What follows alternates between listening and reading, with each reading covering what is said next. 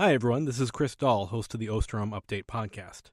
In light of the Department of Health and Human Services breaking announcement that it is terminating 500 million in investments in 22 mRNA vaccine research projects, Dr. Michael Osterholm, director of the Center for Infectious Disease Research and Policy, is releasing a special statement in response to this decision.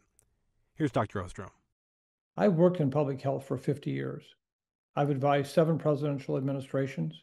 I've helped respond to pandemics but I feel confident in saying the dangerous and unfounded claims coming from our health leaders in Washington represent an unprecedented health threat.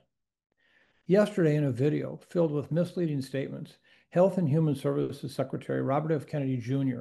announced that he was canceling 22 federally funded mRNA vaccine projects. That's nearly half a billion dollars ripped from our pandemic preparedness. Let's be clear this is not just bad policy, it's dangerous mRNA technology helped end the worst of the COVID pandemic. It's the fastest, most adaptable tool we have to develop vaccines against new threats, whether it's a bird flu, a new coronavirus, or something we haven't seen yet. By shutting down, we are walking backwards. We're unlearning the lessons of COVID and leaving ourselves more vulnerable. Here's a simple way to understand it. When you fight an opponent, whether in the ring or in the lab, you don't want to fight with one hand tied behind your back. But that's what Health Secretary Kennedy's announcement effectively does.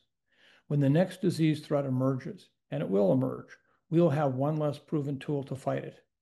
The policy puts America last. I don't say this lightly. It's possible that this decision will cost lives, a lot of lives. Because one of the biggest advantages of mRNA technology is it can cut research and development time. We need evidence based leadership at our federal health agencies.